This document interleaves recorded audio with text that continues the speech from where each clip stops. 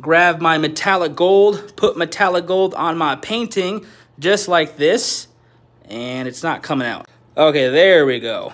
A little more metallic silver, and then we have to spin it. All right, let's spin it. Here we go.